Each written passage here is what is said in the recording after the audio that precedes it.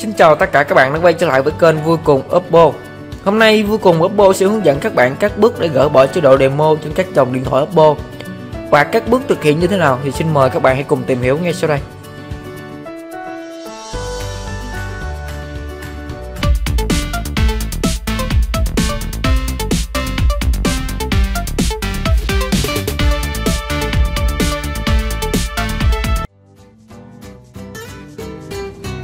À, đây là một chiếc điện thoại Reno 10X đang ở chế độ demo phone này các bạn. Các bạn thấy không? Demo phone. Thì đang ở chế độ demo phone này thì chúng ta không thể sử dụng được tại vì nó đang chạy demo liên tục. À, để sử dụng được thì chúng ta phải đổi chế độ demo. Thì à, các bước để bỏ như thế nào thì xin các bạn hãy làm cùng theo làm theo hướng dẫn nha. À, các bạn vào màn hình chính nè. Thì các bạn thấy thấy một cái màn hình chính nó sẽ có ứng dụng là chế độ demo. Thì các bạn nhắm vào cái ứng dụng này nha các bạn. Đấy, nó sẽ hiện lên hai cái dòng màu xanh xanh cho mình là Virtual the Nanomod và Report đó, thì ờ, có một số dòng đã có lệnh truy xuất hủy demo rồi. Các bạn sẽ nhắm vô này và cầm phim là xong. À, có một số dòng nó sẽ không hiện qua này thì các bạn vào cài đặt. Các bạn chọn nhập mật khẩu là không 110 đây là mã mặc định các bạn. Thì dưới phần này nó sẽ hiện cho mình là một cái một màu xanh xanh đó là exit denomod thì các bạn sẽ nhắm vào đây nó cũng sẽ hủy từ đại được bình thường không không có vấn đề gì hết. Tại vì do một số dòng máy nó nó sẽ hiện hai cái chế độ liên khác nhau thì hiện tại là máy này nó đang ở ở, ở ngoài. Thì có một số máy á, thì các bạn nhắm vô ờ, uh, Virtu the Nonomod này á, thì nó sẽ không tự hủy được. Lý do là nó mình sẽ thêm một cái thao tác nữa đó là thao tác uh, thì đây vô cùng có bô sẽ hướng dẫn các bạn luôn. Các bạn vào ờ, màn hình chính. Để thực hiện được cái bước này á, thì các bạn tắt wifi giùm mình nha. Ngoài màn hình chính thì các bạn phải nhắm vào cài đặt. Các bạn tìm quản lý ứng dụng uh, mình sẽ chọn là hiển thị các hiển thị trên hệ thống ứng dụng Đấy. thì các bạn sẽ tìm cho mình là dịch vụ cập nhật nha các bạn đây dịch cập nhật các bạn sẽ chọn sử dụng lưu trữ và xóa dữ liệu đi okay.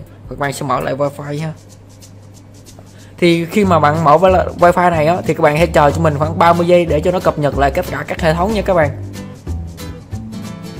ok 30 giây đã xong. Thì các bạn, chúng ta sẽ vào vào lại cái ứng dụng chế độ demo. Chọn shift to the normal để phẳng ờ, xíu cho nó mình cầm phim cái. Ok. Đấy, nó đang xóa lại tất cả các dữ liệu và vào chế độ recovery nha các bạn.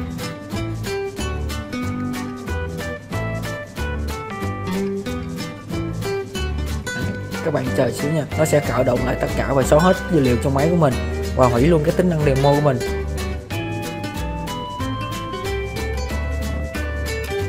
À, đây là quá trình để xóa dữ liệu.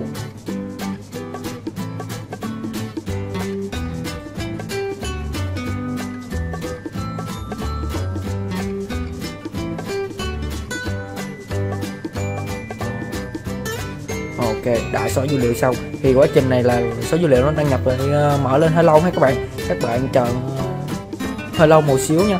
Không không có gì là quá lo lắng hay các bạn.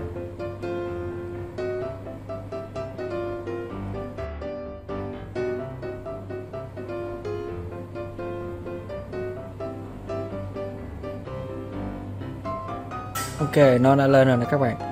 Thì ờ, chúng ta sẽ thử lại nha. Chúng ta sẽ chọn vào tiếng việt.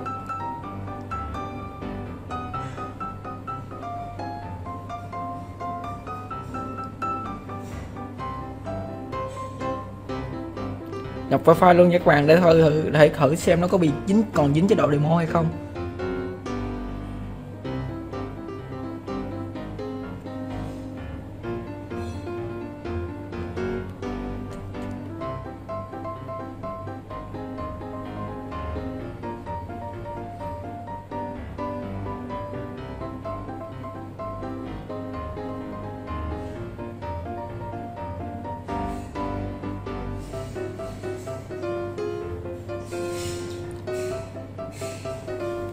Đang cập nhật các bạn chờ trong giây lát nhé.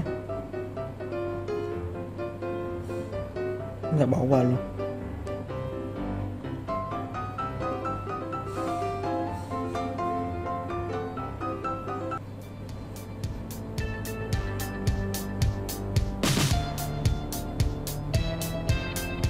Ok.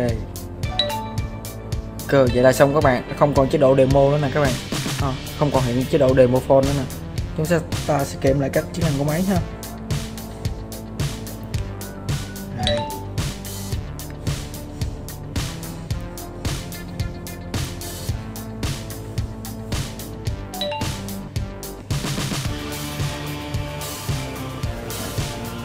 ok mọi chức năng đều bình thường. À, thì ờ, đã được chúng ta đã quỷ được cái tính năng trên demo. Ờ, thì các bạn thấy hay và hãy hay cho vui cùng Oppo một like và share nhé. Thì trong kênh vui cùng Oppo á, có rất nhiều video là hướng dẫn cho các bạn thì các bạn không hiểu á, thì các bạn vào đây hoặc là comment vui cùng Oppo sẽ phản hồi lại cho các bạn.